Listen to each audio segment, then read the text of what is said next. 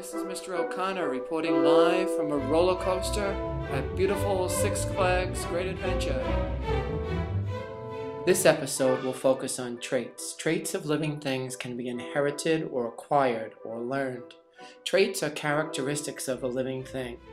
Inherited traits are passed down from parents to offspring when they reproduce. Inherited traits cannot be changed. For example, eye color is an example of an inherited trait.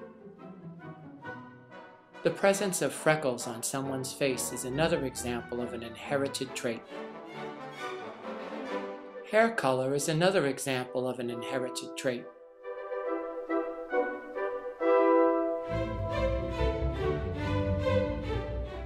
How tall or short you are is another trait that is inherited from your parents. Organisms can develop new characteristics after they are born.